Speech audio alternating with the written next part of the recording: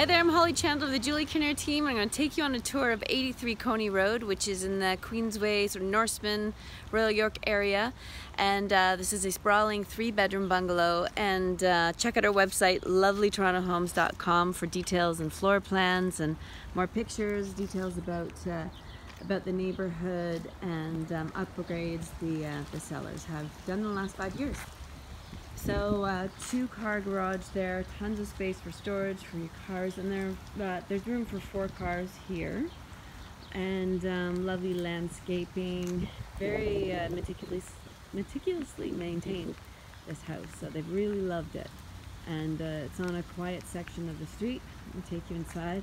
Just say this weather in Toronto has changed a lot since I did the other video. So check out the other video of the um, lower level and backyard of 83 Coney Road. I'm going to take you on the main level.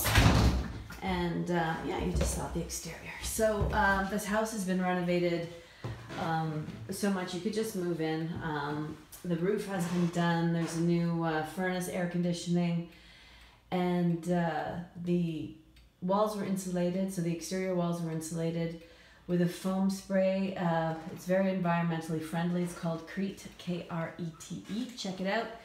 You could eat it if you had to. That's what they tell me anyway. Uh, so, double car, double car, double coat closet in the front hall. Lots of room for your stuff. And also, um, there is a space to put up something to hang coats there at, uh, at the entrance. So, nice and convenient for your guests, for your family. Got the uh, dining room, living room, and kitchen. It's open concept. That's a wood burning stove. A nice picture window overlooking greenery, and it's a quiet section of the street. Very nice. Um, so, dining room, room for a leaf. You could extend that table quite far.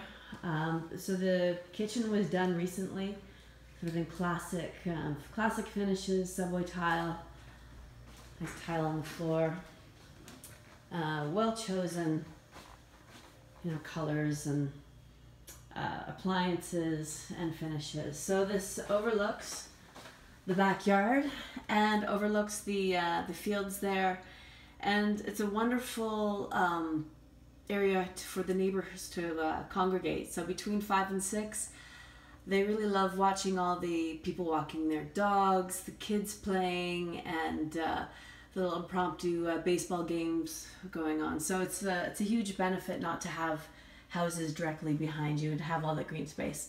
And there's a gate that uh, leads directly out into that sort of park there.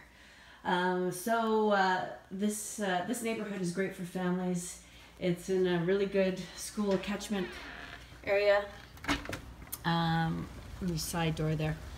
You go out to the front and you can go out to the garden in the back and there's the walkout from the basement which could be put your nanny down there or your in-laws.